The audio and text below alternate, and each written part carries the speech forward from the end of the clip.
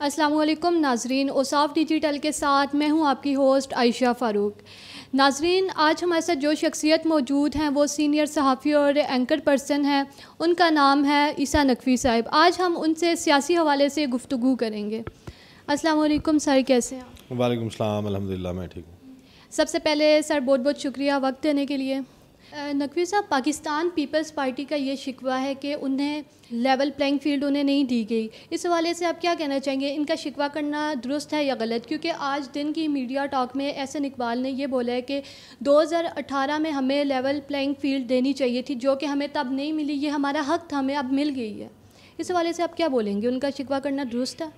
देखिए level playing field अगर आप बात करते हैं, पीपल्स पार्टी, देखें, शिकवा तो करना बनता है।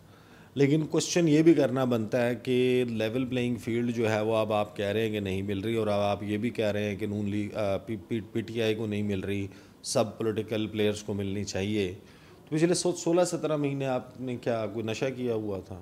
आपने कोई नींद की गोलियाँ खाई हुई थी? या आप कोई एंटी डिप्रेसेंट के ज़ेर असर थे? उस वक्त आपके हवास कायम नहीं थे? आप हवास बाख्ता हो चुके थे। उस वक्त आपको नज़र नहीं आ रहा था कि मुल्क में एक सियासी जमात को खुडे लाइन लगाने के लिए ये सब कुछ किया जा रहा था। तो उसका पार्ट एंड पार्सल आप थे। काउंसिल ऑफ़ कॉमन इंटरेस्ट में नई मरदमशुमारी को वेट आप करते हैं रेटिफाई आप करते हैं, आपका चीफ मिनिस्टर बैठ के करता है, नैब तरमीम आप करते हैं।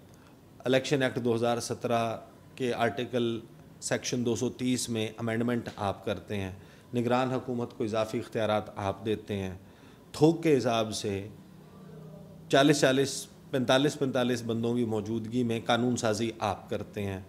उस वक्त ये सब कुछ आप करते रहते हैं। इकतदार के मज़े लेते हैं, वजारत के मज़े लेते हैं, जहाज़ों के ऊपर झूले लेते हैं।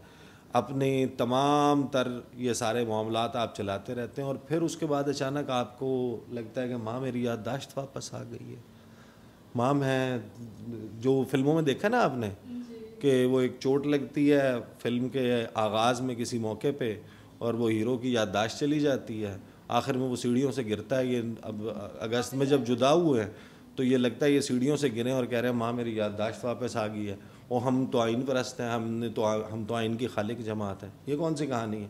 अभी तो आप हमें ये बता रहे थे कि जनाब ख़जाना खाली है, इसलिए इक्कीस अरब रुपए नहीं है इलेक्शन नहीं हो सकते, एक दिन होने चाहिए, फ़ला होना चाहिए। जब आप हर अनकॉन्स्टिट्यूशनल चीज़ को डिफेंड करते रहे हैं तो you don't have a face now to say this और हम लोगों को बताएँ, पागल बनाएँगे, जनाब, अब हमारी याददाश्त वापस आ गई। कहानी ये है। सिंध में इस बार हुकूमत पाकिस्तान पीपल्स पार्टी की नज़र आ रही है आपको, या फिर सिंध की आवाम किसी और को मौका देगी इस बार? देखें इसके हवाले से बड़ी बड़ी इंटरेस्टिंग डेवलपमेंट हो रही है।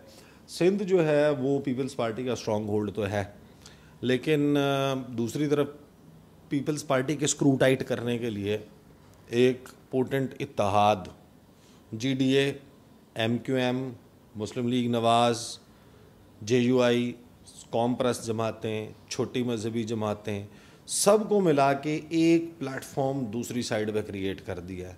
और यहाँ पर अब मेरे ख्याल में मुझे लगता ये है कि पीपल्स पार्टी का जो तीन दफ़ा का इकतदार है ना, वो मशरूत कर दिया जाएगा कि भाई बंदे के बच्चे, यानी कि जो उनकी जो सेंस होती है कि बंदे के बच्चे बनो, अगर बंदे के बच्चे नहीं बनोगे तो ये जो इकतदार के सिंध के मज़े हैं ना, ये भी ख़त्म हो जाएँगे। तो पीपल्स पार्टी के लिए फेवरेबल है, सिंध जीतना उनके लिए कोई मसला नहीं है। लेकिन अगर सारी सिचुएशन साहब कुछ उनके ख़िलाफ़ हो जाता है फिर पीपल्स पार्टी से छिंद सिंध भी छिन सकता है। पाकिस्तान तहरीक इंसाफ को आप इंतबात में कहाँ देख रहे हैं? पाकिस्तान तहरीक इंसाफ देखें आ, असल जो आ, कहते हैं सच बोलना चाहिए लेकिन जितना सच बोल सकते हैं उतना सच तो हम बोलते हैं बल्कि उससे ज़्यादा ही बोलते हैं। पाकिस्तान तहरीक इंसाफ अगर आपने इलेक्शन फ्री एंड फेयर करवाना है ना करवा दें मुस्लिम लीग नून नज़र ही नहीं आएगी। आप मेरे से ये पूछ रही हैं ना कि पीटीआई कहाँ नज़र आ रही है। सिर्फ़ पीटीआई नज़र आएगी। मसला ये है कि पीटीआई जो है उसके करदा ना करदा गुनाहों की जराइम की परसीव्ड क्राइम्स की फहरिस्त इतनी तवील है कि उसमें इफ़्स एंड बट्स मौजूद हैं। आवाम की जब हम देखते हैं हम जाते हैं लोगों से इंटरेक्ट करते हैं सड़क पे बात करते हैं वो नक्को नक समझती हैं। वो ये जो इस वक्त सारा कुछ चल रहा है, ना ऐसे वो नक्को नक है। और सम हाउ लाइक इट और नॉट मे बी मेरी अपनी ज़ाती थिंकिंग कुछ और हो, लोग तो पीटीआई के साथ खड़े हो। अब वो बैलेट बॉक्स के ऊपर जाके एक्चुअलाइज होता है और काउंट भी होता है। वोट डालना है ना आम का काम काउंट किसने करना है? जो काउंट करने वाला है, वो भी बड़ा मैटर करता है ना। वो क्या होगा, कैसे होगा पीटीआई अगर चेयरमैन तरीके इंसाफ बाहर हो, इलेक्शन लड़ रहे हो। ये इन्होंने, पता है कितना नून लीग ने पापड़ बेले हैं इसे एक जलसा करने के लिए लाहौर? जन्नत की टिकटें इन्होंने बांटी कि जन्नत मिलेगी। होंडा वन टू फाइव ये दे रहे थे, बिरयानी, कीमे वाले नान, ट्रांसपोर्ट शर्टें, कपड़े, तस्वीरों वाले, टोपियाँ, पता नहीं कौन कौन सी सलमानी टोपियाँ क्या क्या बांट रहे थे? पैसों के बारे में बातें आ रही हैं कि देते रहे।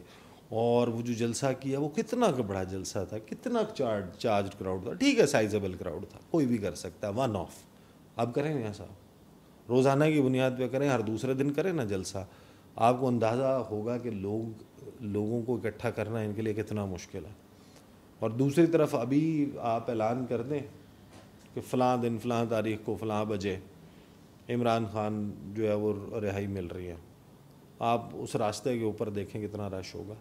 असल बात ये नहीं, देखें पीटीआई जो है ना, उन्होंने बहुत बड़ी गलतियाँ गलतियाँ की उनके डिसीज़न सियासी फैसले, बहुत सारे ऐसे हैं जिनके ऊपर बहुत बड़ा क्वेश्चन मार्क मौजूद है। जो बसीरत वाले लीडर्स होते हैं सर्वाइवर्स होते हैं, कैसे सर्वाइव करना होता है? पीटीआई के एंड से देखें, उनके पास लॉजिक्स मौजूद हैं जस्टिफिकेशंस मौजूद हैं, ये ये इस वजह से किया, ये उस वजह से किया। बट नेट रिज़ल्ट क्या है? नेट रिज़ल्ट ये है कि पीटीआई के लिए मैदान गर्म या मैदान के बल्कि लेवल प्लेइंग फ़ील्ड तो क्या उनके पास फ़ील्ड ही नहीं है? और ये क्वेश्चन ही नहीं है अभी के। पता नहीं वो किस सूरत में इंतबात लड़ेंगे, कोई उनका जानशीन होगा, कौन होगा कौन होगा, कौन नहीं होगा। और वो इंतबात में होंगे भी या नहीं होंगे। आप इमरान खान को बतौर वज़ी अजम या वज़ी अला कहाँ रेट करते हैं? वज़ी अला तो वो कभी नहीं रहे। प्राइम मिनिस्टर वो रहे हैं। रेट करने के लिए आ, एक चीज़ बड़ी ज़रूरी होती है कि जो उसका गिवन टाइम है ना वो उसने पूरा किया हो। अगर पाँच साल वो पाकिस्तान में आज तक किसी ने किया ही नहीं। आप किसी भी वज़ी अजम को जब आप रेट करने के लिए बैठेंगे यार, उसने एक बनाया होगा ना, एक पॉलिसी रखी होगी, अच्छी या बुरी, कि ये पाँच साल में मैं अचीव करूँगा। और आपको पता है कि जो असल में फल है, वो तो आखिर में आगे मिलता है ना आपको। आप एक दरख्त उगाते हैं, उसका एक प्रोसेस होता है, आप उसको खाद देते हैं, वो बीज जो है, उससे एक छोटा सा पौधा निकलता है। फिर आप उसको पानी देते हैं, उसका ख्याल रखते हैं, वो बढ़ता है, तनावर दरख्त बनता है। दरख्त बनने के बाद भी एक प्रोसेस होता है, उसके बाद उस पर फल लगता है और उस फल का जायका आपको पता चलता है कि अच्छा है या बुरा है। अब यहाँ पे बात यह कि किसी भी वज़र अजम के जो भी मंसूबे थे, वो कट शॉर्ट कर दिए गए। डायरेक्शन देखनी है। बहुत सारी उनकी लोकल पॉलिसीज़ जो हैं डोमेस्टिक पॉलिसीज़ ऐसी हैं जो नहायत बुरी थी। जिनको डिफेंड वो खुद भी नहीं कर सकते जस्टिफिकेशन मौजूद नहीं है। फॉरेन पॉलिसी की अगर बात करेंगे तो मैं ज़ाती तौर पे I really appreciate and like जो पीटीआई के वक्त में पाकिस्तान की फॉरेन पॉलिसी पोस्चरिंग थी। अगरचे आगाज़ में वो उतनी अच्छी नहीं थी। हज़ार अठारह में मुख्तलिफ़ फ़ेज़ था, उन्नीस में मुख्तलिफ़, बीस में मुख्तलिफ़ और इक्कीस में ऑल टुगेदर एक बहुत ही डिफरेंट किस्म की रिफाइंड किस्म की अप्रोच जो है वो नज़र आ रही थी। बहुत सारे लोग लोग जिनके अंदर बड़ी एक ग़ुलामी की ख्वाहिश है, वो ये कहते हैं कि नहीं, ये तो कोई बहुत बुरी पॉलिसी थी। मुझे लगता ही है कि फॉरेन पॉलिसी के फ्रंट के ऊपर P T I was way ahead than any other political party ever in Pakistan history लेकिन जो डोमेस्टिक पॉलिसीज़ हैं, उनमें कुछ अच्छी चीज़ें भी थी, कुछ उनकी बुरी भी थी।